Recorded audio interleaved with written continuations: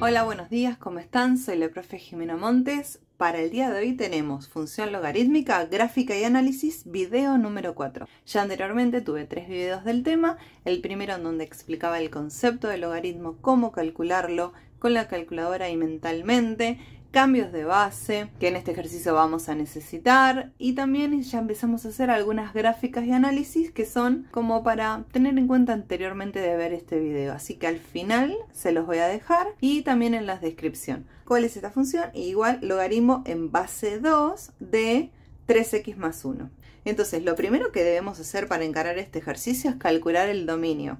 Para calcular el dominio siempre el argumento tiene que ser mayor a 0 tiene que ser positivo. x más 1 mayor a 0. ¿Por qué? Porque no puede ni valer 0, porque no existe, y porque no puede valer negativo, porque tampoco lo podemos probar en 2 segundos. Por ejemplo, el logaritmo de 0, la calculadora nos da error, o el logaritmo de menos 6, un número negativo, también eh, error.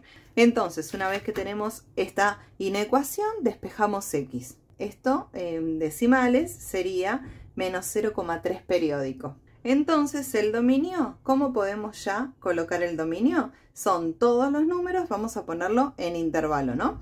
Todos los números mayores a menos 0,3 periódicos o a menos un tercio.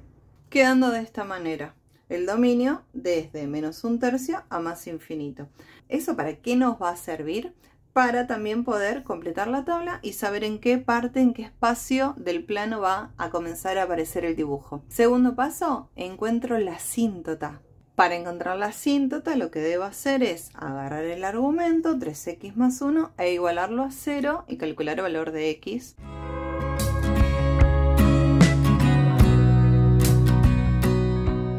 Ahí tenemos el valor de la asíntota.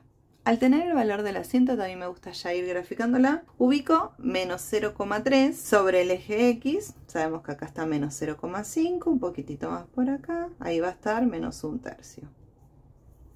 Y, y le voy a trazar una línea vertical, una línea de puntos,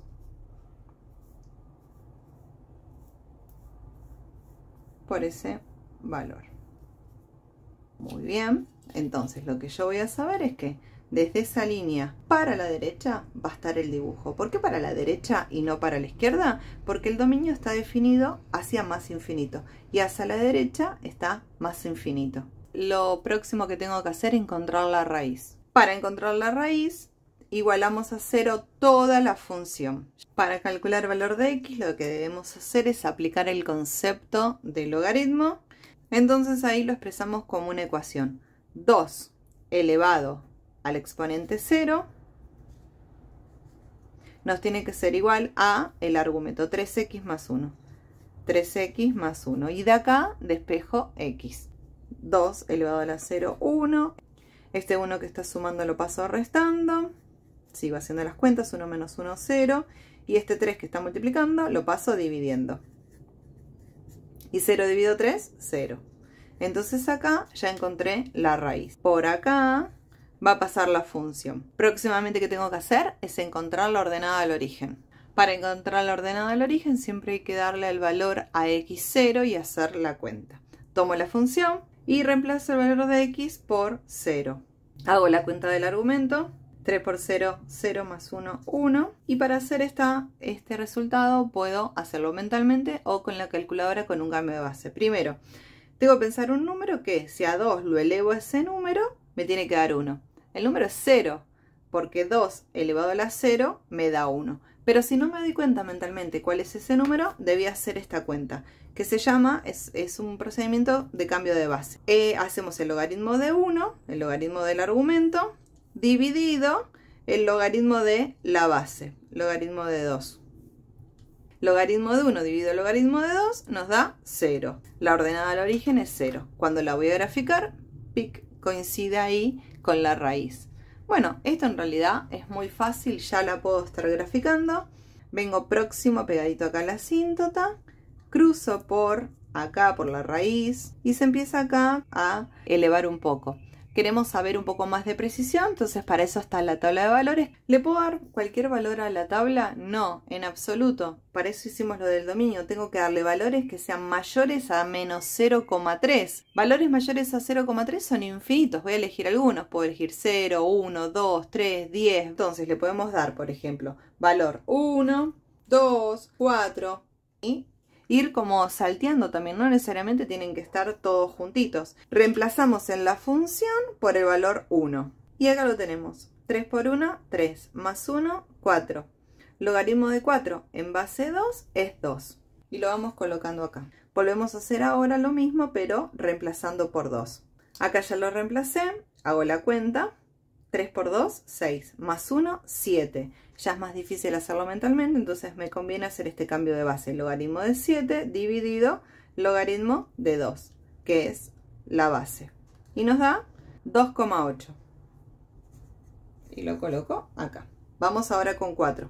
Acá ya lo tenemos. 3 por 4, 12. Más 1, 13. Logaritmo de 13 dividido logaritmo de 2.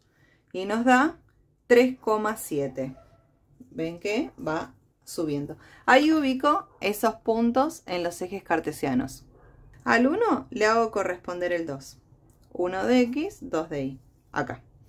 Al 2 de x, 2,8. 2, 2,5, 2,8. Y al 4, el 3,7. 4 Acá está el 3,5 y a, ojo el 3,7. Y ahí lo que me queda ahora es unir los puntos. Cuando unimos los puntos nos queda así perfecto. Recuerden que acá no puede caer, sino que lentamente va elevándose. ¿Qué nos queda? Completar el análisis. Dominio. Lo tenemos acá. De menos un tercio a más infinito. La imagen o rango que también le llaman. Siempre recuerden que en las funciones logarítmicas son los reales, de menos infinito a más infinito. Luego, intersección con el eje y. Acá es la ordenada al origen, 0. La raíz, acá la tenemos, raíz también es 0. Nuestra asíntota vertical es x igual a menos un tercio x igual menos un tercio. Y el comportamiento es un comportamiento creciente. Desde menos un tercio a más infinito. Y acá damos por finalizado la explicación de este ejercicio. Espero que hayan entendido y nos vemos en el próximo tutorial. Saludos.